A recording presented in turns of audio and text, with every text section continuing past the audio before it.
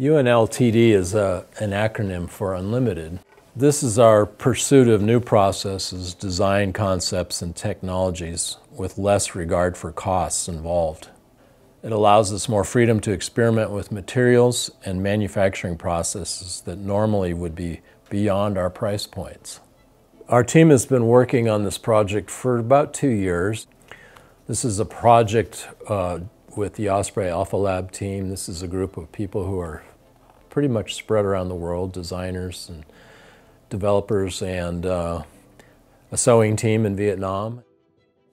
In the unlimited line, I would have to say the biggest innovation is the use of 3D printing for our lumbar pad. This is done by Carbon. They helped us develop the process for making this new lumbar. They showed us through all of the uh, intricacies of what it takes to do 3D printing. We also have developed new high tenacity weaves, uh, specializing in the use of ultra high molecular weight polyethylene. This is a fiber that is super strong in tear resistance, and we have developed a grid work in our fabrics to make the strongest fabric yet that we've used. In our framework, we have combined 7075 aluminum alloys with stainless steel high carbon and injection molded hubs to create a very tensely strong framework. This allows us to create a back panel that will support a lot more load than normal. We also have developed a new frame sheet technology using vacuum formed polycarbonate. We create air channels in that design and then we place thermoformed EVA panels inside of that framework to create more airflow and more ventilation. We've done casting and screening of TPU inks on fabrics for abrasion resistance in high wear areas. We've combined micro-perforated EVA foams with spacer meshes for superior ventilation. We're using silicone printing and 3D TPU polymer surfaces to provide better pack-to-body traction.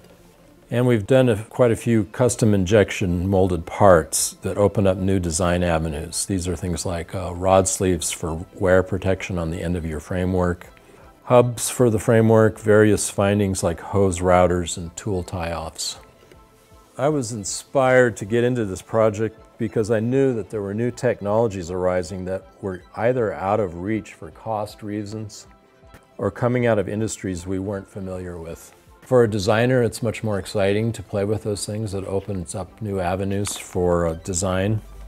I hope that when people use our new unlimited packs, they will experience the same comfort and performance they would get from packs that were the basis for this design, but with an extra level of comfort, load control, and durability, and an appreciation for the benefits of new technology and build. These are fine details that I think a discerning uh, consumer will notice and they will appreciate all these advancements in our process and technologies. With Unlimited, we've had the ability to lift the pricing governor on what we do. We can uh, play around with new materials and uh, new technologies.